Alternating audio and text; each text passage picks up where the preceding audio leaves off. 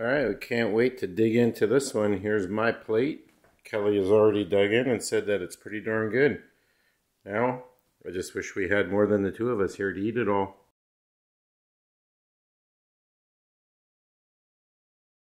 Hey everyone, it's been a while. Welcome to Cooking with Jimmy K. Little cold in Pennsylvania, so we're going to do a little corned beef and cabbage. Very simple. We got a head of cabbage. We've got some pickling spice. You can get that at any supermarket. And we've got our potatoes boiling in a pot. And with that pickling spice, I made a little bit of cheesecloth, a spice bag, and we got that in there with the potatoes. We're going to throw the cabbage in once those potatoes start to get soft.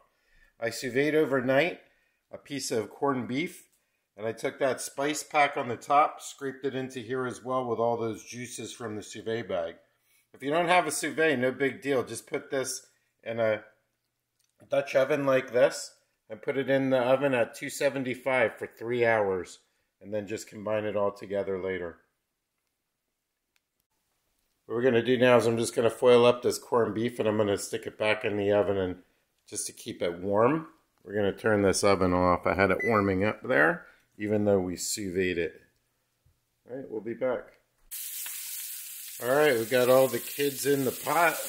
Got the cabbage, potatoes, and our carrots, and Kelly's frying up some cabbage on the side with some butter and oil. Looks delicious. All right, Kelly's got her fried cabbage done. That looks really delicious. And then we've got our potatoes ready to go, and we're going to start slicing up this corned beef. Now, warming up in the oven. You see how that just slices real nice. We get a little couple thicker slices. Got a really good smell to it.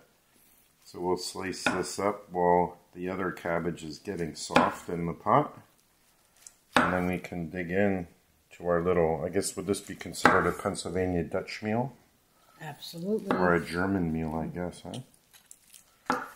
Looks really good. All right, we'll be back with this plated up real soon.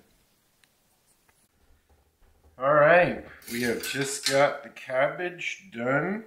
And we are just taking some of that nice juice and we're putting that around our potatoes and our meat. And it's time to dig in.